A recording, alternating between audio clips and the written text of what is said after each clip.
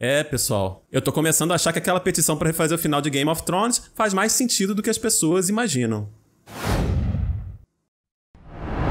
Galera, eu tava vendo aqui que saiu uma notícia no BGA dizendo que depois do último episódio de Game of Thrones, o termo cancelar HBO atingiu seu próprio recorde de buscas no Google. Nunca antes esse termo foi tão procurado. A última vez em que ele ficou bastante popular foi no final da sétima temporada, mas nem dá para comparar os números. É importante ressaltar que quem busca o termo no Google não vai necessariamente cancelar o serviço da HBO, mas com certeza tem a intenção de fazer isso. Agora dá uma olhada na curva dos gráficos. A linha vermelha num deles é a curva dos possíveis cancelamentos da Netflix, que vai até mais alto, mas fica bem claro que a subida do termo da HBO é muito mais brusca, então dá para perceber muito bem mais uma vez o descontentamento de boa parte do público.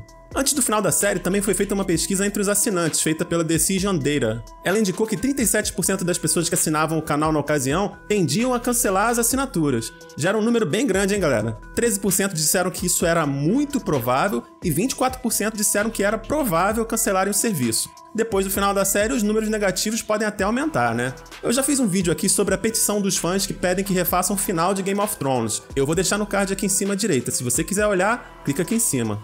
Essa petição, pessoal, já passou de um milhão e meio de assinaturas. Ela não para de crescer, não. Como eu falei no outro vídeo, as pessoas querem mais é dar um recado mesmo do que literalmente refazer a série. Pelo menos uma boa parte das pessoas que assinaram. Mas a gente tem que falar do outro lado também. O presidente da HBO deu uma entrevista pro Deadline dizendo que, historicamente, depois de um grande show como é, né, Game of Thrones, de certa forma é normal que muita gente cancele a assinatura. Ele diz que quando isso acontece, geralmente o ganho geral que o canal tem durante a série, né, é bem maior do que essa perda que costuma acontecer no final.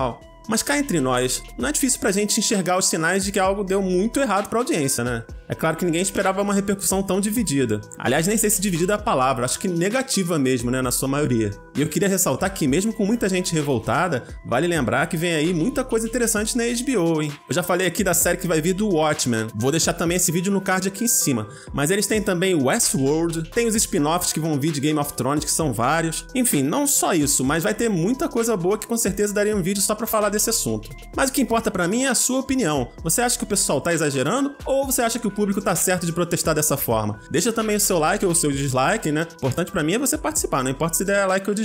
E acompanha o canal porque a gente tá sempre falando de cultura pop e vários assuntos que todo mundo gosta. Beleza? Um grande abraço e até a próxima.